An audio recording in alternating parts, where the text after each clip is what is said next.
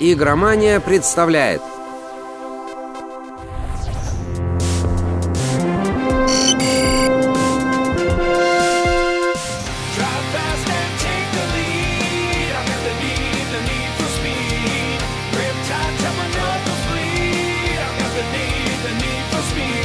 серии Need for Speed вышло очень много игр. Хороших и разных, впечатляющих и не очень.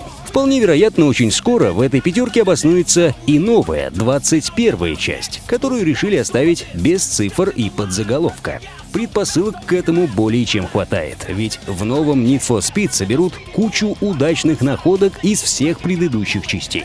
Заглавной темой станут нелегальные гонки, как в Underground. Появятся трассы на коньках, как в Carbon, и живые актеры в заставках, как в оригинальном Most Wanted. Плюс к этому совершенно новая система начисления очков по пяти отдельным направлениям, безграничные возможности тюнинга и многое другое. Подробнее о новом Need for Speed мы, конечно же, расскажем в видео по соседству, а пока вспомним былое и пройдемся по лучшим выпускам «Жажды скорости» по мнению игромании.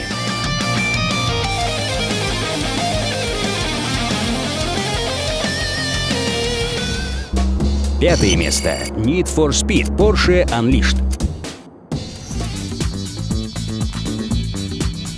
Need for Speed Porsche Unleashed был скорее не про соревнования, а про сам процесс езды на дорогом суперкаре по живописным местам. Разработчики отмечали, что эта часть отличалась самой продвинутой на тот момент моделью поведения автомобилей. Но всем было не до этого. Все хотели просто кататься на одном из 84 Porsche и любоваться завораживающими пейзажами. Вот едете вы по дороге, проложенной по серпантинам, а слева от вас морское побережье, а в конце следующего тоннеля проглядываются вечерние лучи солнца.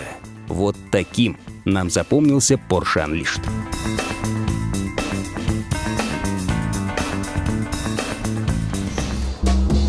Четвертое место. Need for Speed Rivals.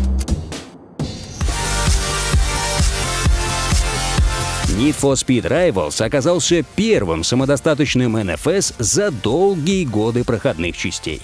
Он не пытался за кем-то повторять, не пытался и превратить аркадную гонку в автосимулятор. Это собирательный образ из лучших наработок серии, который обрел свое собственное лицо.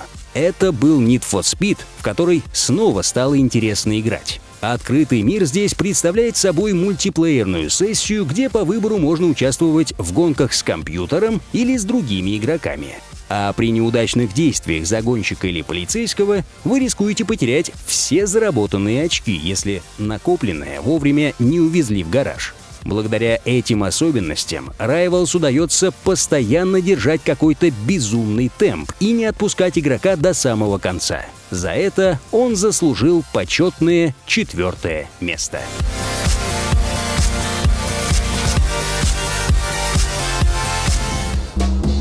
Третье место. Need for Speed Underground.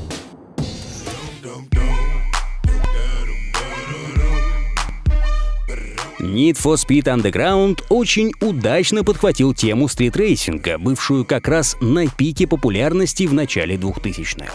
За это мы его и любим, а та самая мелодия «Эрон Дон Дон» до сих пор звучит в наших ушах.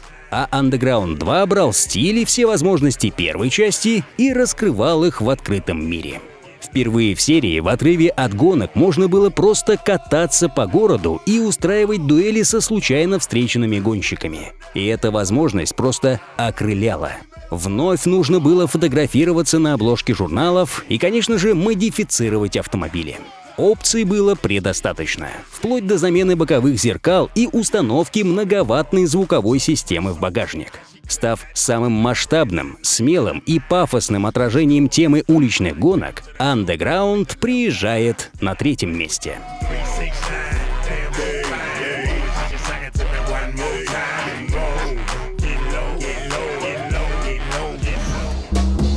Второе место. Need for Speed Most Wanted.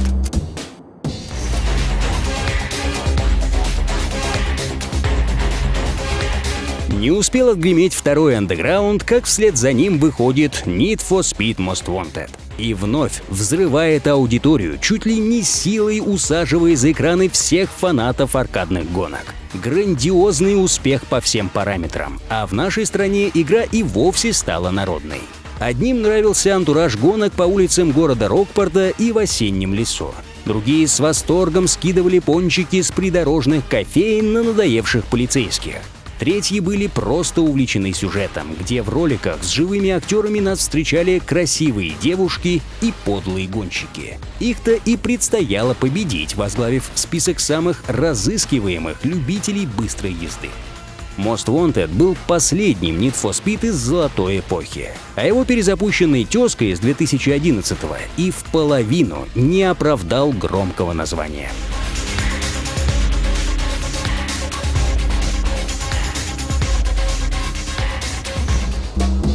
Первое место. Need for Speed Hot Pursuit.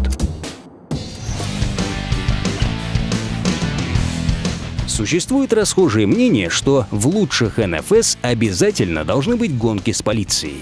И прямое тому подтверждение — третья часть серии Need for Speed Hot Pursuit. Если в самой первой игре 1994 года погони с полицией только появлялись, то в HP на них построили целый геймплей — в зависимости от уровня преследования, стражи порядка гонялись за игроком, брали в коробочку, ставили на дороге шипы или блоки.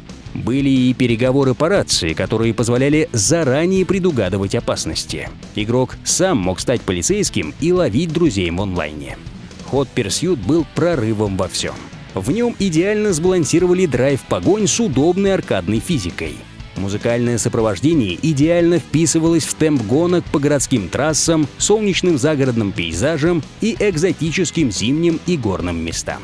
В будущем именно продолжение HP поднимет серию из состояния клинической смерти, а его перезапуск в 2010 году вдохнет в НФС новую жизнь после многократных неудач и задаст новый вектор развития, уже с упором на онлайн и социальную составляющую.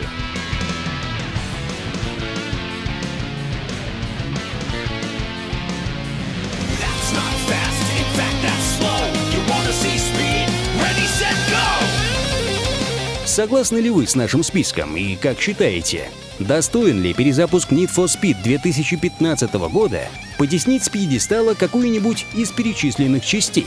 Отписывайтесь в комментариях и играйте только в лучшее.